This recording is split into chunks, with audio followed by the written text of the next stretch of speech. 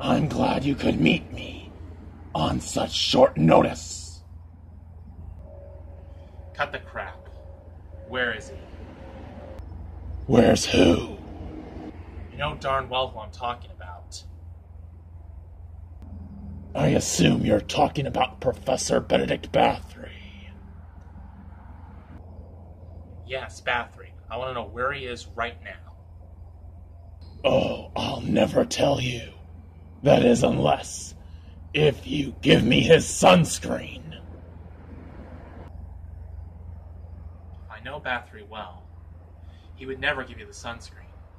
And me, I'm just as stubborn as he is, so what makes you think that I would give you his sunscreen? Because I know you want to see him again. So, here's the bargain. You give me his sunscreen, and I'll give him back to you without a wooden stake through his heart. It's that simple. Otherwise, the poor professor will have to die for a second time.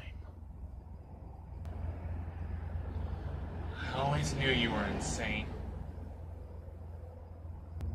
I'll give you 24 hours to think it over, to decide for yourself if the good professor's eternal life is worth it. Sweet dreams, Vance.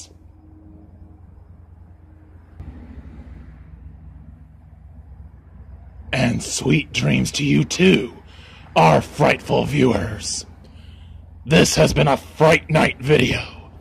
If you love being scared, this could be the night of your life. I'm Father Arius. Thank you for joining us.